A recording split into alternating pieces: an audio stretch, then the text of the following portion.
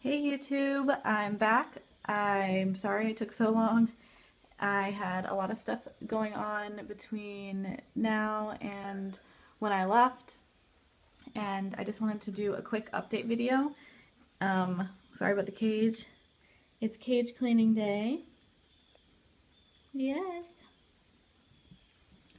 And everyone thinks that the rat's cage stays clean all week long and it doesn't by the end of the week. This is what it looks like. This is actually a new litter box that I have added. But I do have a Halloween cage where they'll be coming up so I'll go over anything that is new in the cage. And pretty much there has been quite a few changes since I've been gone. May May is no longer here. Um, I did post that on my Facebook page, but um, it happened pretty much at the middle of August. She had a pituitary gland tumor and had to be put down and um, it was not fun. Uh, I think I'm going to go ahead and do a video on pituitary gland tumors because it's the third leading, leading cause of death in female rats and it's just kind of heartbreaking when it happens. Um, there's all different kinds of symptoms and signs so I will be go ahead and do a video on that. And also the hamster that I posted about, I think it was my last video actually, Tater Tot is no longer with us as well.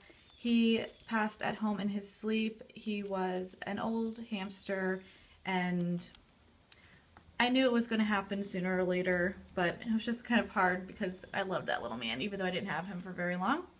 But um, Yep, so all the other rats are okay.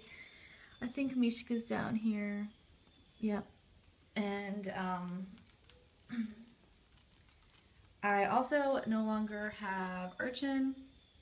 Um, like I said, a lot of stuff has been going on and I was getting married and we were leaving. And right before I got married, actually, my brother passed away. And um, it was beginning to be a lot with all the pets at the house, especially when we were leaving for our vacation. My brother was the one that was going to be watching all the animals, and um, it was going to be harder to find somebody to watch so many. So I did find somebody who really wanted Urchin and can give him, you know, undivided attention since he is kind of hard when it comes to taming and um, doesn't really like everybody. So my channel is definitely going to be just the rats now. And um, yes, yes, I'm gonna rub.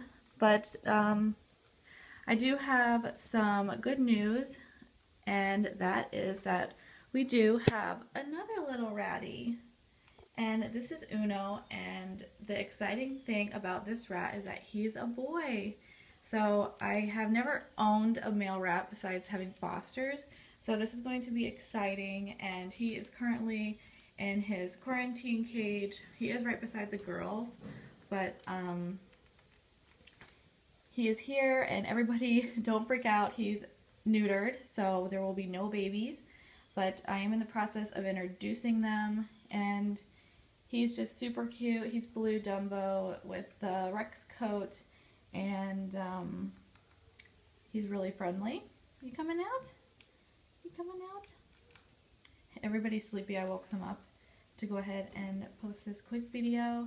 But I am in the process of recording an introductions video, so that will probably be the next video because he should be in with the girls by the end of the week if everything goes as planned. They have um, already been introduced in the bathtub.